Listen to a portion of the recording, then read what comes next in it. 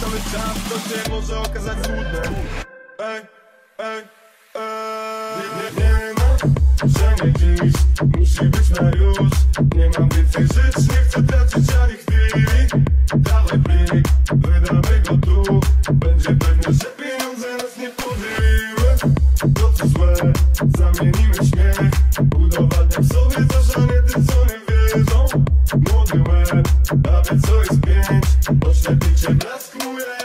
witam Was serdecznie z tej strony Patryk. Mamy dzisiaj 3 listopada e, i kosimy moje poletka pionierowskie w miejscowości Belno.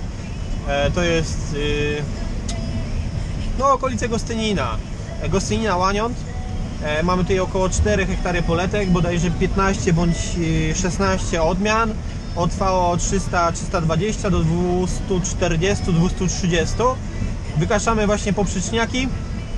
Potem ustawiamy przyczepę, kalibrujemy wagę. Częściowo będziemy brali wagę z przyczep, częściowo z kombajnu, skalibrujemy kombajn. Potem potwierdzimy z dwa pomiary, żeby to było zrobione tak naprawdę dobrze.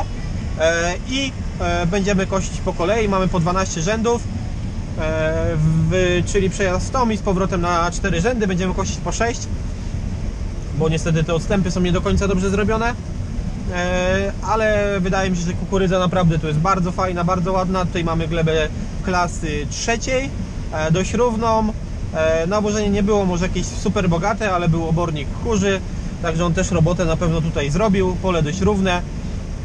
Wilgotności widzę, że wychodzą od późnych odmian od 30, e, 32 do wczesnych do e, 23-4%, także wilgotności naprawdę, naprawdę bardzo fajne. Jesteśmy już na dwóch trzecich sezonu. Skosiliśmy już naprawdę sporo tych hektarów, zarówno i klas, jak i fent. I teraz czas tych poletek. Niedawno zbieraliśmy poletka u Krzysia, a teraz zbieramy swoje poletka. To już druga lokalizacja, bo pierwszą zbieraliśmy e, u Bartka. E, Też w tych okolicach. Najlepsze odmiany oddały ponad 17 ton na mokro, przy wilgotności około 24-5%. E, Także plon na sucho wahał się w okolicach 15. E, Też tam było obornik kurzy, czy bodajże indyczy i naprawdę była petarda, jeżeli chodzi o plon. Średnia ze wszystkich pól tam e, wyszła Bartkowie chyba około 15, gdzie część mówił, że tam jest piąta klasa. E, I pias, piasek, naprawdę konkretny piasek, także wynik naprawdę e, myślę, że fajny i oby tak było zawsze. W tym roku na szczęście te wyniki są dość, no dość dobre, no co to mówić. Kosimy, jedziemy teraz wysypać, potem ustawiamy wagę. E, no i co? No i będziemy działać. No jest trochę tego. Myślę, że z dwie dobre godziny to nam zejdą, żeby to skosić. Jest Mariusz z Pioniera, jest Łukasz, jest gospodarz, pan Ryszard. E, także będziemy, będziemy działać. Mam nadzieję, że pójdzie nam to sprawnie i wyniki będą fajne. Aczkolwiek o to się nie boję, bo Pionier w tym roku e, nawet się tak przyjęło w okolicy, że jak masz Pioniera, to masz wyższy plon i masz dobry plon. No i tak, y, no co, no tak jest, no. Te plony są naprawdę fajne. Wysokie. No i tak powinno być. Sypiemy. Odkosiliśmy poprzeczniaki. Mamy nieskalibrowany kwantymetr, mamy, mieliśmy wgraną aktualizację. Także kwantymetr sobie zaraz skalibrujemy. W tej chwili nam pokazywała 16 ton, trochę chyba za dużo, jak na poprzeczniak. E, aczkolwiek może, no bo ta kukurydza jest naprawdę bardzo ładna. E, no i zobaczymy, co nam e, wyjdzie na wynikach z wagi. Czekamy, Damian miał podstawić HL-ki, ale Damiana nie widzę. Ja sobie może do niego zadzwonię i widzimy się później. Jestem z powrotem. Kosimy pierwszą odmianę. E, mam trochę zaniżony współczynnik kalibracji, już nam wyszło, także teraz wprowadzę wagę z wagi, e, jaka powinna być i zobaczymy jak to wyjdzie. Ogólnie pierwsza odmiana wychodzi około 16 ton, no teraz wychodzi mi 15560, wilgotność 28,6 E, a myślę, że po skalibrowaniu, bo teraz sobie jakby wagę wprowadzę e, i zobaczymy co co wyjdzie, kończymy. I zobaczymy co wyjdzie. Na tamtej, skalibrujemy i wtedy już będziemy mieli wyniki dobre. Potem zrobimy pomiar taki jeden sprawdzający czy waga z kombajnu waga się z, zgadza się z wagą tą ustawioną pod przyczepą. Strasznie słońce świeci będzie pewnie słabo to wszystko widać. I jak wtedy będzie wszystko ok no to już tak pozostawimy.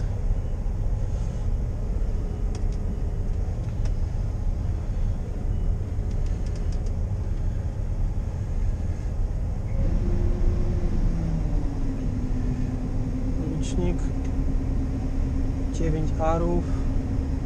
28,6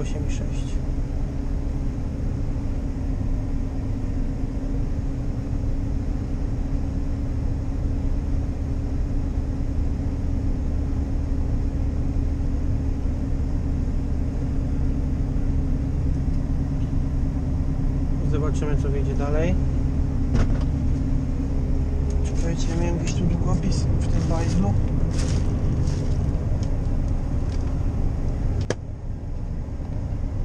Dobra, ale Mariusz to ma.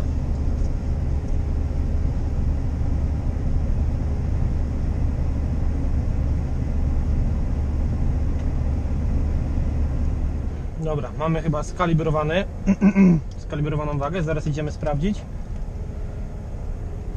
moją wagę z wagą Mariusza. Jeżeli będzie się to w miarę zgadzało tam do 5%, no bo to, to tam o to, to już nam nie chodzi.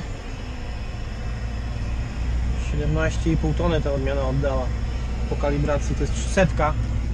No i tak może być, bo była naprawdę bardzo fajna. Nawet nie wiem, czy ona jest jeszcze, już w sprzedaży, czy nie jest. Mam nadzieję, że zmieścimy to na tą szczepkę, bo to szczepka za duża nie jest.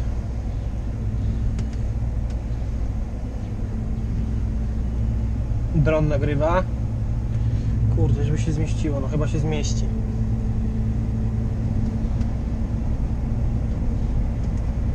Idziemy do Mariusza, zobaczymy.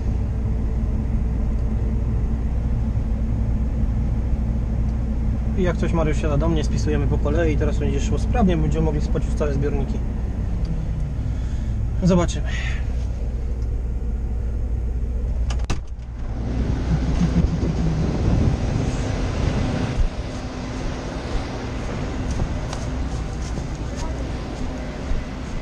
Zaraz zobaczymy jaka powierzchnia, ale też ładnie.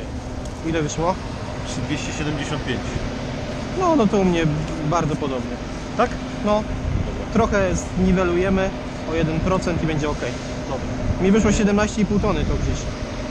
No i 17,5 tony ta 963, a ta tutaj ile miała powierzchni? Wejdziemy, zobaczymy, bo nie spisałem. Nie, nie spisałem, dobra. I wilgotność piszemy, dobra. Ja odepnę sobie i objadę trochę samochodem, żeby mi się nie kotłowało z Dobra. z boku. I wsiadasz do mnie, nie? A, no, a chłopaki jak ściągniecie, to te talerze podpinajcie, e, jak możecie, tylko połóżcie tutaj, ja sobie tam, że podjadę później Możemy wrzucę. już zjechać. Możecie zjechać, dokładnie. Andrzej, dosypanie do pełna, nie? Dosypię, tak. Dobra, mamy trochę. Różni się waga o 120 kg. Czyli niedużo. To nasypieć po pełno, bo Tak, nasyp- kończy dzisiaj wszystko, wszystko widzę. Dobra. Nasypię go i potem tiry.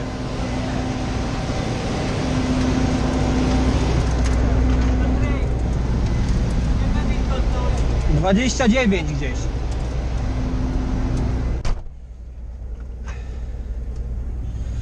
Dobra. Roślina. Szklanimeter.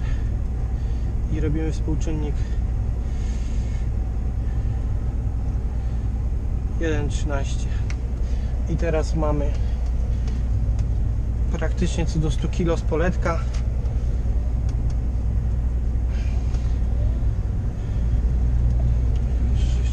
To jest 9978, to jest 300 Tak. 320 V. Tak. A to jest w ogóle w sprzedaży?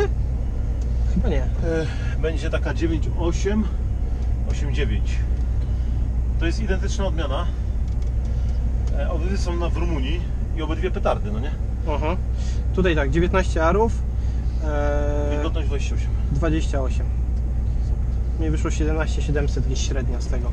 I też będzie mi przeliczało na chyba na sucho. Na sucho z poletka mi przelicza, dobra. Teraz to. Powiedzcie, że tutaj Tu jest Mariusz, dobra gleba. Y, Jest na oborniku kurzym. Dość wcześnie zasiana. organiczne. A tak z nawozów to ci powiem za dużo tutaj nie poszło. Ten kurzak największą na pewno robotę tutaj zrobił. No jak poszło 15 ton tego kurzaka, No, tutaj jakby poszło 30 ton obornika, no nie? no on 15 tutaj ton, 15 ton kurzaka, no to e, samego, sam, z samym kurzaku było tam No, ponad 200 dobrze azotu pewnie. azotu, no dokładnie. dokładnie. Teraz co kosimy? E, trójka to jest 9,610, no jestem bardzo ciekaw. To nie? twoja odmiana. Moja odmiana. Ty, no powiem Ci, że wszędzie tam gdzie była sypie kapitalnie, no nie? No tutaj też ładnie, no zobaczymy. Chwilowy plon pokazuje, czy? Tu chwilowy plon, no. A tu mamy na bieżąco z tego poletka. Będzie się zwiększało. Bo to też jest dent. Czy Dent. to jest dent? to Czysty jest dent. odmiana między 9241 a 9363. Wcześniejsza Aha. niż 9363, eee, z wilgotnością niższą powinna być odrobinę eee, i z plonem 9363 eee, i eee, może, może podciągać wilgotnością do 9241, no nie? Aha, ale plonem 9241 powinna pobić. powinna pobić. A też na stanowiska takie różne, czy bardziej Różne, też na różne? różne.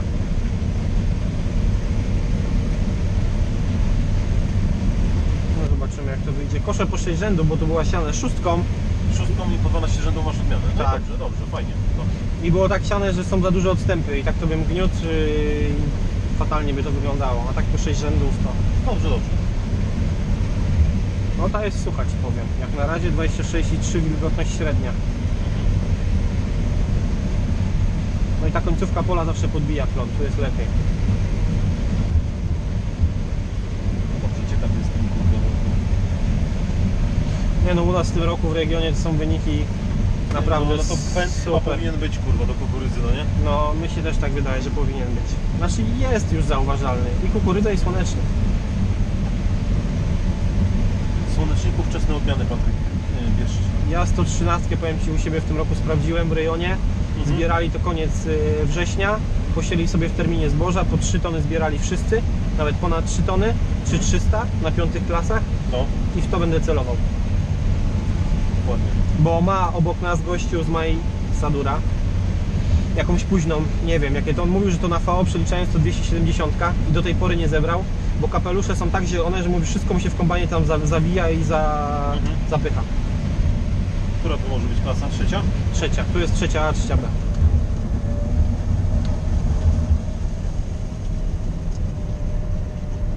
Widać tutaj, że fajna czarna ziemia, kurde, taka Tak. jak smoła.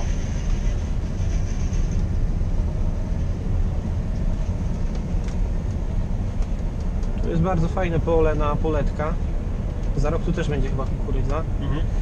bo i dość długie i takie naprawdę pasowne do koszenia. Sześć, Można zorganizować tutaj jakieś spotkanie, kurwa, jak są takie plony, fajne pole. No za rok właśnie by było trzeba pomyśleć, coś takiego fajnego zrobić. To miejsce też jest Miejsce takie jest- całkiem fajne, no nie? No, No, to wilgotność pokazuje 25, kurde. no to jest średnia na razie i plon na razie średni 16,5.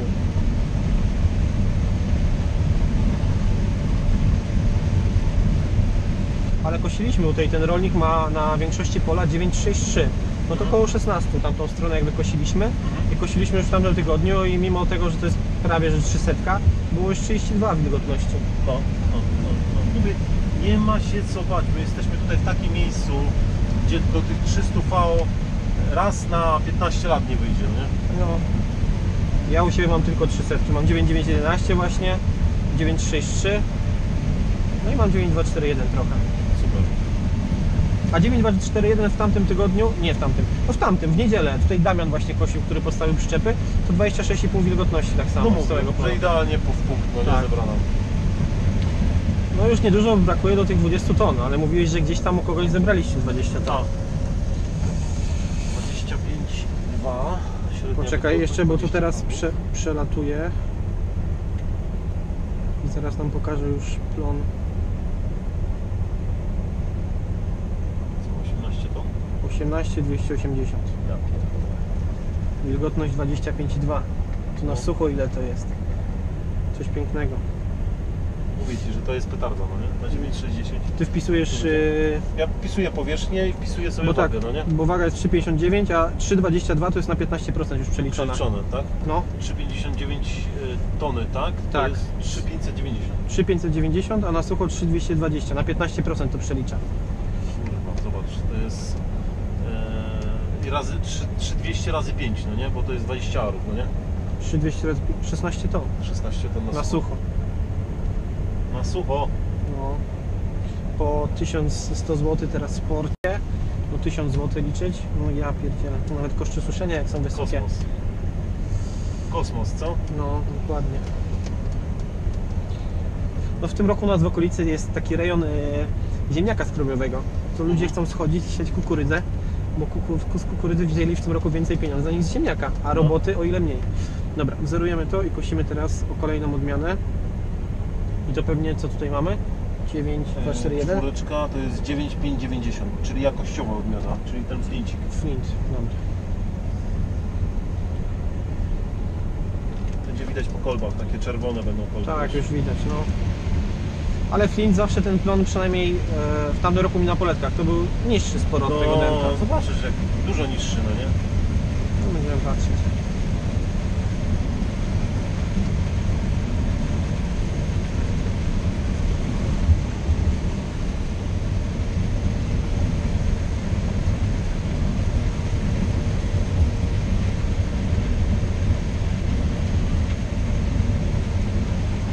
Ale jest aż czerwona.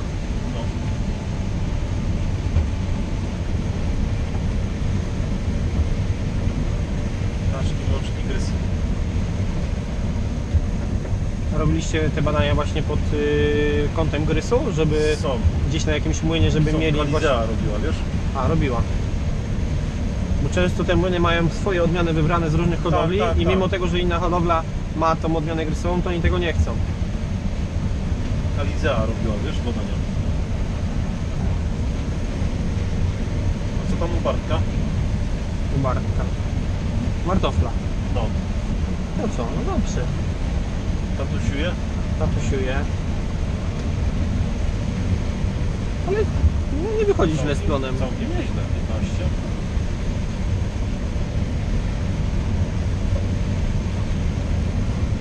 Całkiem, całkiem.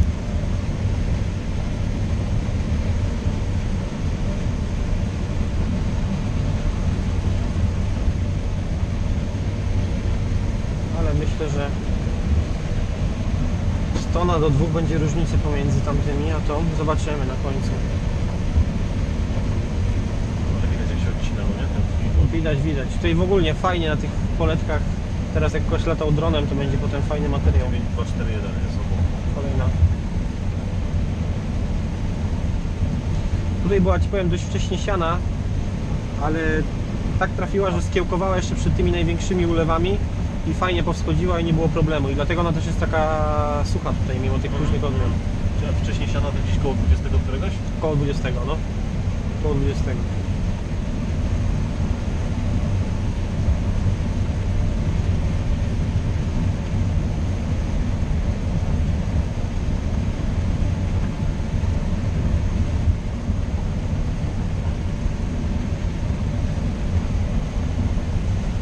Już myślałem, że dzisiaj nie będziemy kosić, bo wczoraj jednak cały dzień się piło. Od rana była tam mgła, jak dzwoniłeś. A ja, a ja specjalnie się nie umawiałem, bo tak powiem Ci, że tak czułem, no jak zadzwoniliśmy rano, no usiadłem do komputera, popisywałem wyniki z tych słoneczników, wszystkich powysyłałem, no nie, bo i tak to muszę kiedyś zrobić i tak. I tak myślałem, mówię, dobra, no to jak Patryk nie, to podjadę do gościa, tutaj wezmę go próby wilgotności, zobaczę z kolby, jak to tam, mm, jakie ma wilgotności teraz. Ale tak, mówię, ale jeszcze chwilę poczekam, zrobię sobie kawę i no, i wezmę te kukurydze, popisuję, tam zostały dwa doświadczenia. Trach, wpisuję ostatnie doświadczenie, dzwonisz, mówię, aha, No, wyszło słońce. a jak ja z Tobą rozmawiałem rano, coś dzwoniłem, to już u mnie słońce było, no nie? A, u Ciebie już słońce Już, było. już było. A u mnie to mgła była straszna. Więc ja wiedziałem, że wcześniej czy później wyjdzie, bo w prognozach widziałem, że się tu przejaśni i się rozchmurzy, no nie?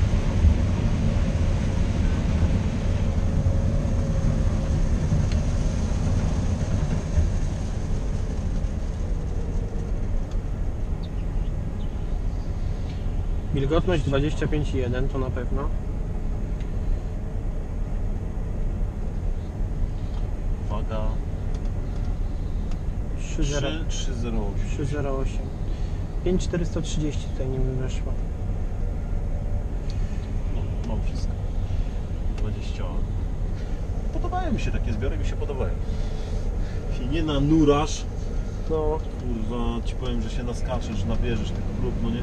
No można, oczywiście, że można, no nie?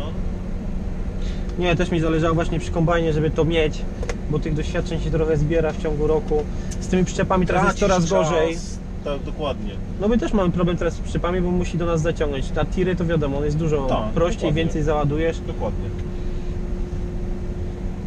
Teraz zbieramy tutaj 9, 2, 4, 1. Dobra, to ja sobie już to kasuję. No, zrobię wyniki, to Ci wyślę. 9, 3, 6, 3 z tych dwóch kalibracji wziąłem, no nie? Dobra, Z powierzchni wagi i wilgotności, to się zrobi średnią, no nie? dobra. Teraz odmiana, która chyba jest takim koniem pociągowym w tej chwili w pionierze, gdzie się wszędzie sprawdza i jak na razie nigdzie, gdzie kosiliśmy to nie zawiodła i zobaczymy jak wyjdzie na poletkach. Muszę tylko wyzerować. Dobra, możemy wjeżdżać.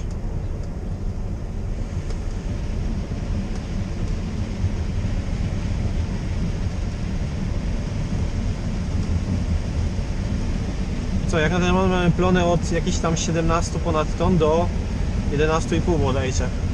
Także różnice są i to dość znaczące w odmianach. W wilgotnościach też od 20 do 29, do 21.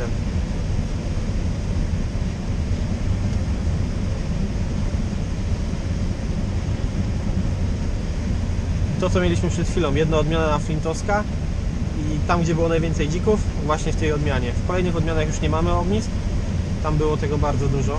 Jest moc jak na 250. No i wilgotność też super, 22,9 wyszło średnio. I przy, tym, przy tej wilgotności 15,08 wychodzi.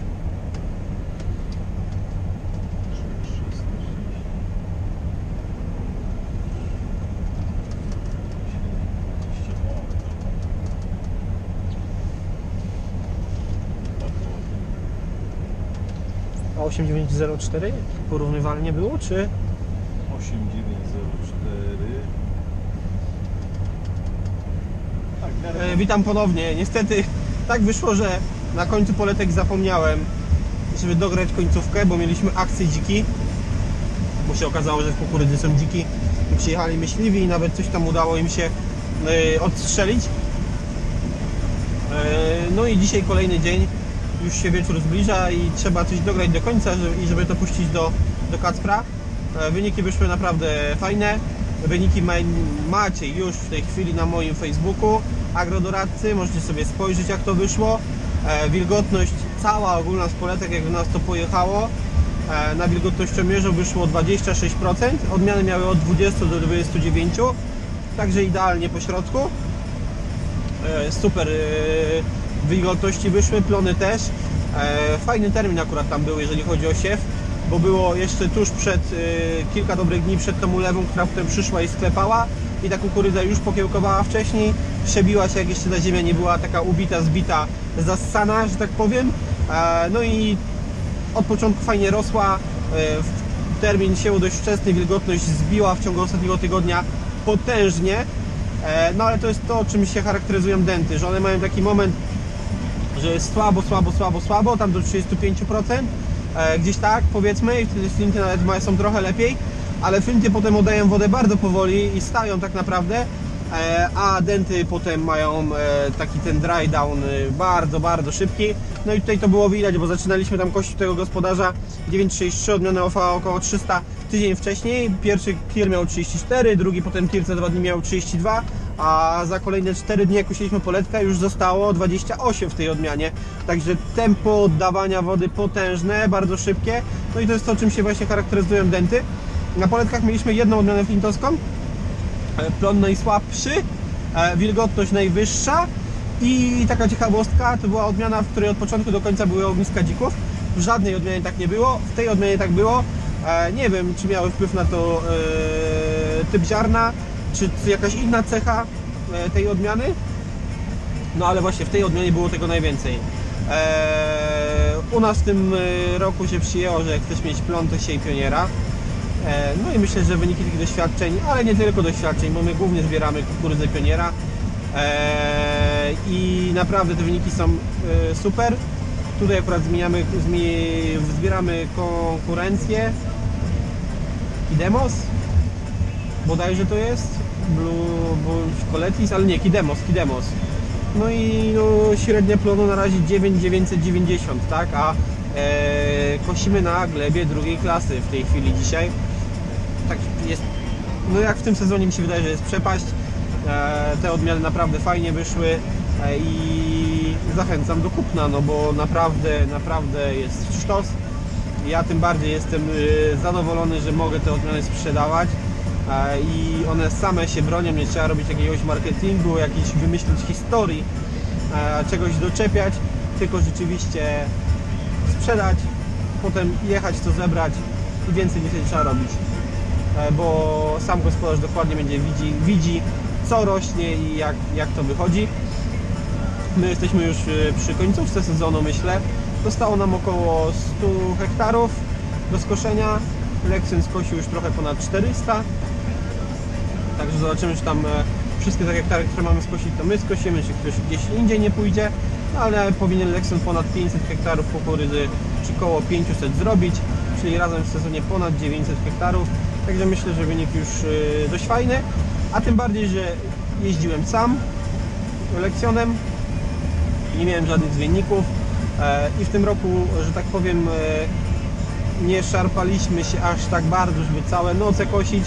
E, Co prawda kosiliśmy długo i człowiek i tak jest zmęczony i przemęczony i, i tak, tak naprawdę go nie ma w domu, e, ale było dużo luźniej niż w tamtym sezonie. E, Pomogło to, że był drugi kombajn. Fend wiadomo, że nie zrobił aż tyle hektarów. Nie wiem ile on zrobił, pewnie około 200 zrobi, może nie, może trochę więcej. Nawet nie jestem na bieżąco.